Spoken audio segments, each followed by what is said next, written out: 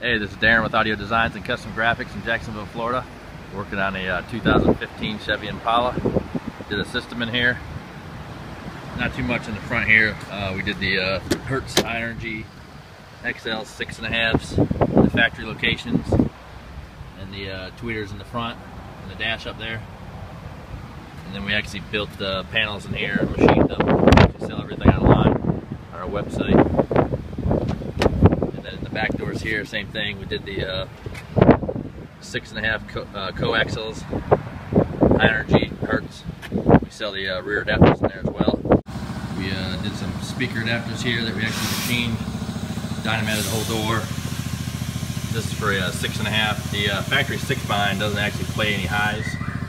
So a lot of people want to put like a uh, six bind back in there, but there's no highs to it, so it's pretty much wasting the tweeter part of it. So don't go out and buy some 6 by 9 and stick them in the doors. The actual dash speakers play the highs. So, um, but we have a component set here. So we have the Hertz high energies.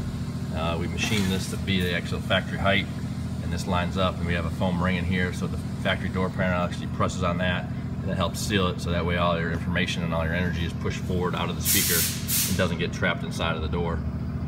Uh, we have those for sale on our website, store.audiodesigncg.com and then the back doors here as well. Went ahead and dynamited everything. Built the uh, ring here. We actually machined them out of plastic, expanded PVC. That way we don't use any kind of MDF or wood so it doesn't swell up when it gets wet. There's a lot of moisture in the door, but same thing here. There's actually a ring. If you look at the back of your door panel, there's actually a ring, and that ring goes pushes in here, so it lines right up, and that way all your information comes forward. And it's nice and clear.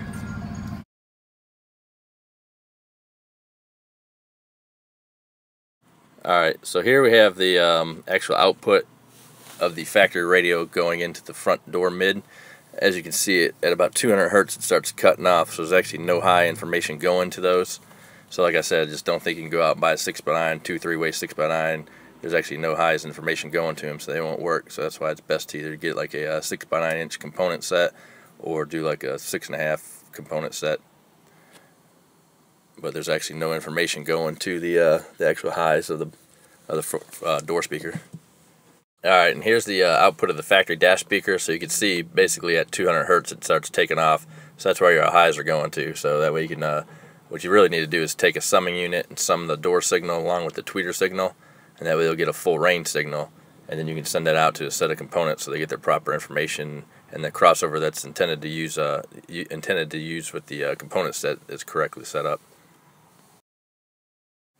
Alright, now in this diagram here, what I did is I actually did, uh, we have a dual trace oscilloscope, so I actually um, showed the door speaker in the green, and then the dash speaker is actually in the blue. And what that is, is basically it's showing the, uh, the two where they overlap, kind of both of them at the same time. And now what we'll do is we'll go ahead and sum those signals. Alright, this graph here represents uh, the summing unit.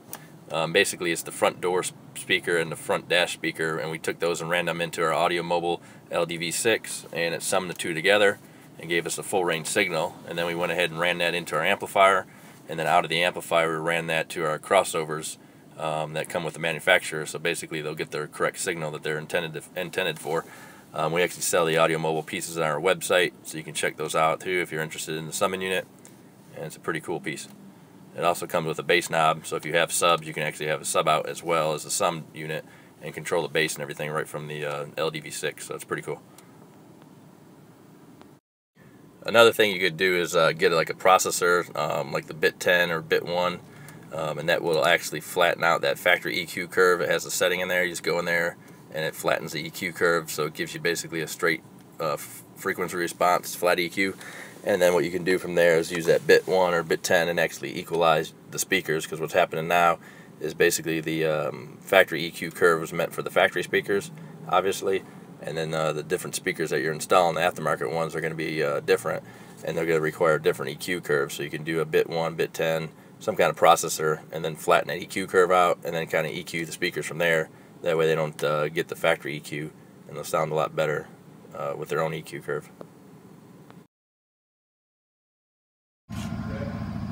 We have those on our website as well. We have the uh, tweeter adapters on there too.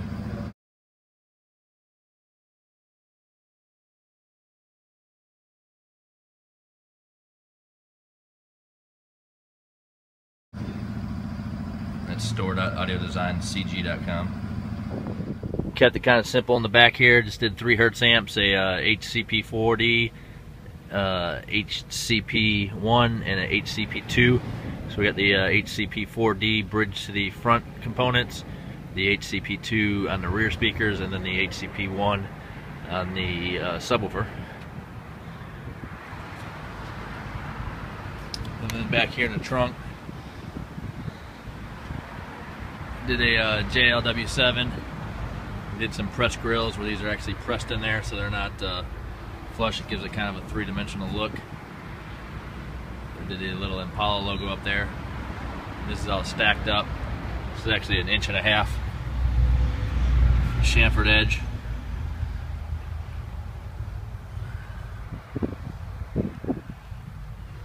That way it came out a little bit more with the sub. And we actually sell these enclosures online.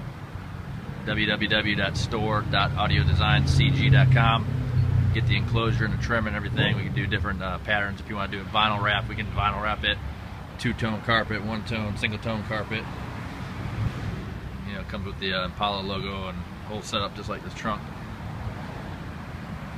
But if you're in Jacksonville, give us a call, 904-333-2322. Check us out online, store.audiodesigncg.com. Check us out on Instagram, audiodesigns75. Check our YouTube channel out as well. Alright, still in the process of wiring this up, but basically in the uh, back passenger side quarter panel is a factory uh, tuner amp. And there's all the wires and everything that you'll need to access. Alright, so we have our uh, summing unit here. We got the RCAs. So we got it coming out of the RCAs here. We're measuring on the RTA. And as you can see now it's summed both of the signals. So then what we need is a uh, bit bit processor, Audison bit processor or something that'll flatten that out. That's the factory EQ curve there. Uh, so something like that would flatten it out and help the signal a lot better and you can EQ it from there.